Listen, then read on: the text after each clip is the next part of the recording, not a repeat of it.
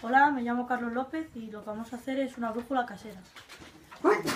Y lo que necesitamos es agua, un tapón, un plato de plástico eh, un y un imán. Lo primero que hacemos es echar el agua en el plato.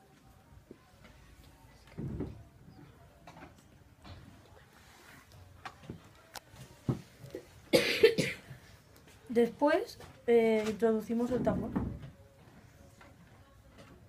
Luego eh, imantamos la aguja, pero solo en una dirección, porque si no, no te señala el norte.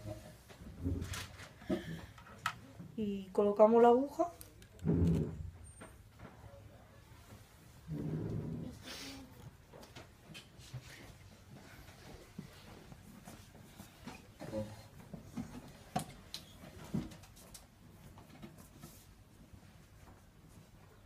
Tarda un poco.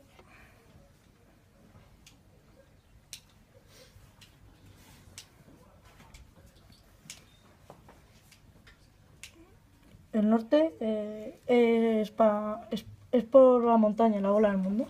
¿Y esto por qué ocurre? Porque gracias a... Ya que hemos imantado la aguja con el imán, pues la Tierra es un imán gigantesco y, gracias a su norte magnético la aguja señala el norte. Y lo podemos aplicar en cuando no tengamos alguna brújula.